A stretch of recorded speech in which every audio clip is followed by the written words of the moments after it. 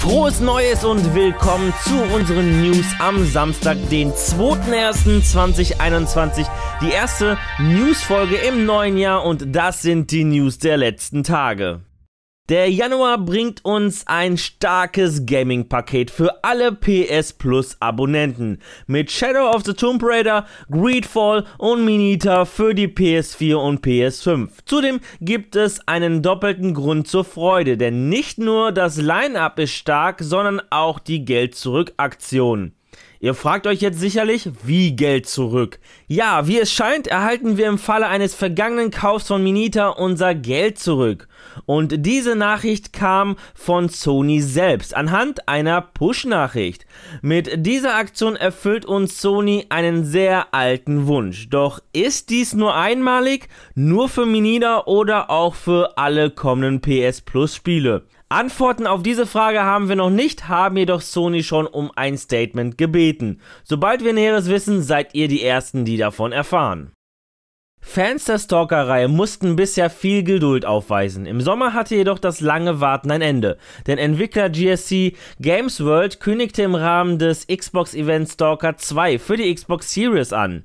Jetzt wurde ein Teaser veröffentlicht. Dieser beinhaltet zwar kein Gameplay-Material, jedoch stimmungsvolle Spielweltausschnitte aus der Unreal Engine 4 die wirklich Lust auf mehr machen. Stalker 2 erscheint 2021 für Xbox Series und PC.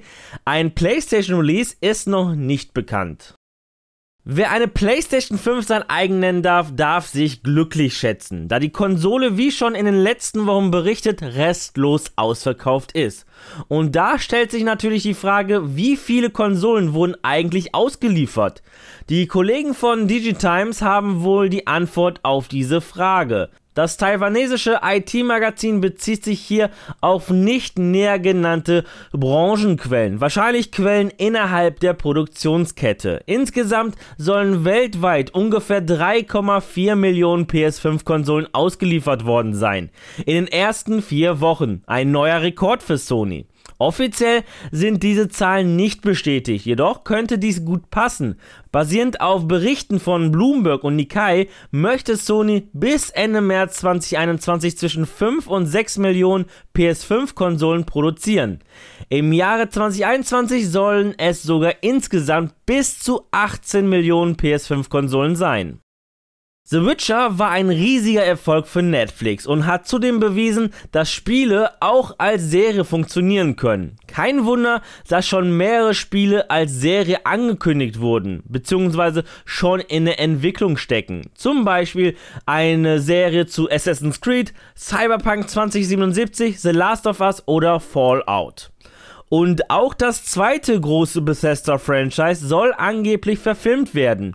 Laut Brancheninsider Daniel Richman ist bei Netflix eine Elder Scrolls Serienarbeit. Doch worum es genau geht, welches Setting, Epoche und Geschichte, dazu äußerte sich Richmond nicht. Womöglich auch deshalb, da sich die Serie in einer sehr frühen Konzeptphase befindet. Zwar ist Daniel Richmond zuverlässig und gut informiert, aber trotzdem handelt es sich hier um ein unbestätigtes Gerücht. Genießt also die Infos mit Vorsicht, solange nichts offiziell bestätigt wurde.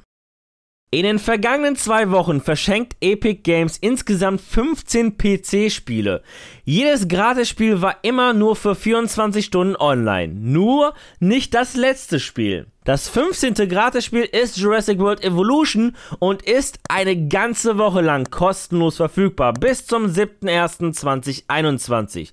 Zudem dürfen wir uns schon auf das kommende wöchentliche Gratisspiel freuen, welches uns vom 7. bis 14. Januar 2021 geschenkt wird. Das Roguelike-Strategiespiel Crying Suns.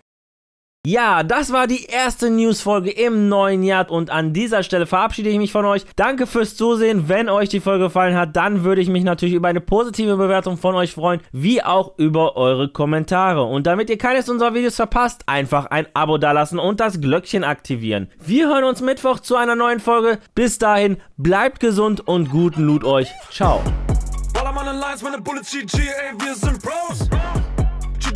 wir geben here we go stottern Hacker, wahllos Silben machen, so wie Hollywood in 2020. Ja, die schieben Filme, ey. Ich bin bekannt dafür zu flame. Meine Kehle ist ein Flammenwerfer, alles muss hier brennen.